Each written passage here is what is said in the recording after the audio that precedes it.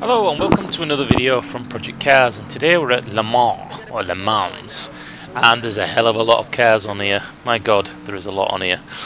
Now as you know the AI can be a little bit bumper carish, a little bit of uh, get the fuck out of my way. So I'm kind of glad that I was actually near the back of the grid on this one, sort of, well three quarters of the way back. And as we come down to this first three or four turns with it being the AI I tend to hold back a little bit um, it just seems to be the safer option.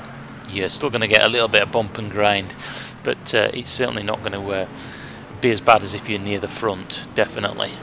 So as we come down here. Now, the, there's a couple of things I wanted to highlight in this video. The first one is, you may notice that there's no steering wheel on screen.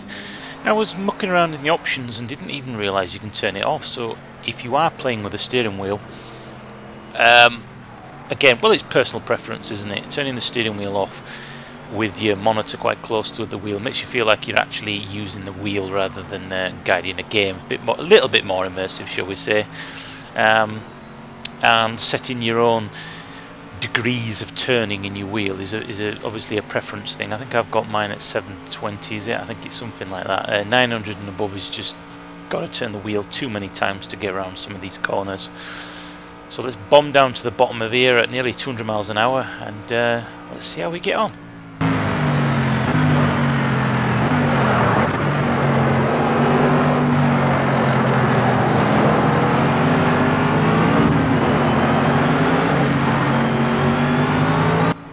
Now this vehicle, like most of the super high powered vehicles, you really got to be careful putting the accelerator down when going around a corner. You've got to be gentle Jesus on the pedal, otherwise you just absolutely spin it. So there's no way you can literally put your foot down from basically nothing to full without it squirming all over the place. And if you've got the decent steering wheel, whoa, way overcooked that, you can really feel that the tyres when they're actually losing grip and skidding as well. Absolutely brilliant. Now, as a bomb down here, this is going to highlight something about not just this game but most racing games. This is the first time I've done this track. Now obviously I've done this in other racing games, motorbike GP games and all sorts, so I know roughly the layout of the track. But for Project Cars I'm going to be playing either this view or the helmet cam view. Um, there's no other view, there's no way I'm going to be playing externally. That's just too console-ish for me. So it's going to be these views. And with these views you can actually change on the keyboard. You can position your seat up, down, forward or back.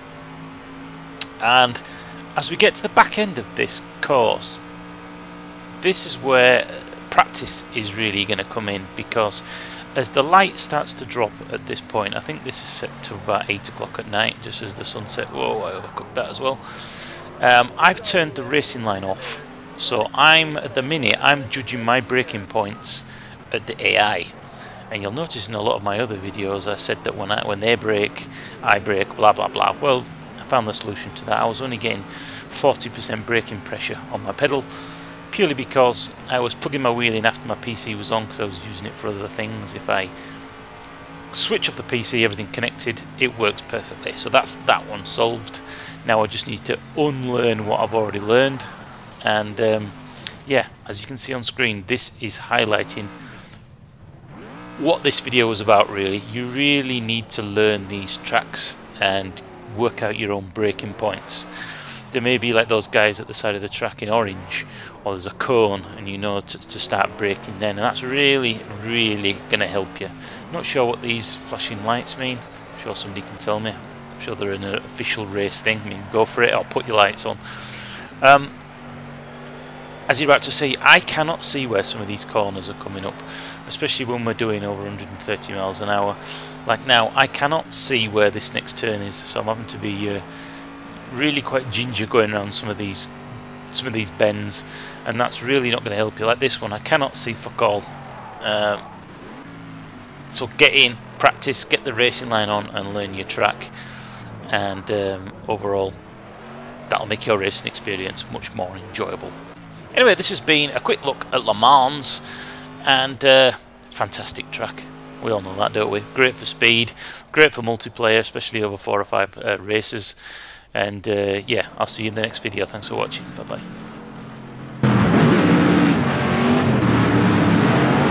actually, before we head off, I just wanted to say that even though on some of these races I'm coming in towards the back end of the pack, maybe say 27th out of 30th, the, the way the game's made, you you're gonna have a an actual great racing experience, even if you're at the back of the pack. Sure, there's going to be an adrenaline rush when you're at the front fighting for it, but it's still just as visceral and as exciting to take one or two places or lose a couple of places as it is to be at the front of the pack. So if you're not the best of drivers, don't let that put you off on this game in the multiplayer. Um, you're still going to have an absolutely brilliant time.